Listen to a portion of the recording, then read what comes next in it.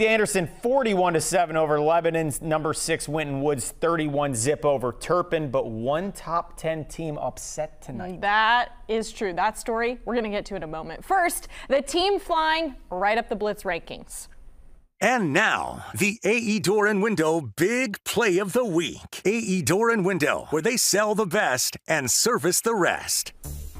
The AE Door and Window Play of the Night. It is Harrison Wildcats freshman DB Dillon Witt. Welcome to Friday Night Lights, sir. A pick six for the freshman, 49 nothing. 15th ranked Harrison stays perfect on the season.